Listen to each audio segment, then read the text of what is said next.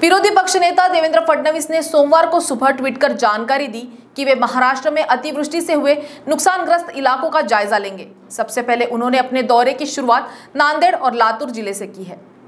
महाराष्ट्र राज्य के कई इलाकों में अतिवृष्टि के कारण फ़सल का काफ़ी नुकसान हुआ है। वहीं कुछ जगह बाढ़ जैसी स्थिति बनने से गरीबों के घर भी उसमें तबाह हो गए। ऐसे ही नुकसानग्रस्त इलाकों का दौरा करने के लिए विरोधी पक्ष नेता देवेंद्र फडणवीस निकले हैं। नुकसानग्रस्त इलाकों में जाकर वे किसान और ग्रामीणों का हाल जानेंगे, साथ ही उनकी समस्या समझेंगे। उन्होंने ग्रामीण मराठवाड़ा क्षेत्र के दौरे की शुरुआत नांदेड़ और लातूर ज़िले से की है। मत एवढंच आहे की मुख्यमंत्र्यांनी यावं की हा वैयक्तिक निर्णय आहे. मी कालही बोललो की मुख्यमंत्री किंवा मंत्री आले तर प्रशासनावर एक दबाव तयार होतो. पण मी अशी अपेक्षा करतो की ते समजा येत नसतील तरीही आत्ता मराठवाडा खूप अडचणीत आहे. ती अडचण समजून घेऊन त्यांनी मराठवाड्याला भरघोस मदत केली पाहिजे.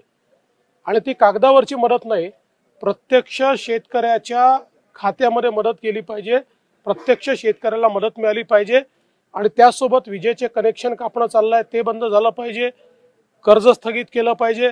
या सगळ्या गोष्टी त्यांनी तात्काळ या ठिकाणी घोषित कराव्या अशी आमची मागणी आहे.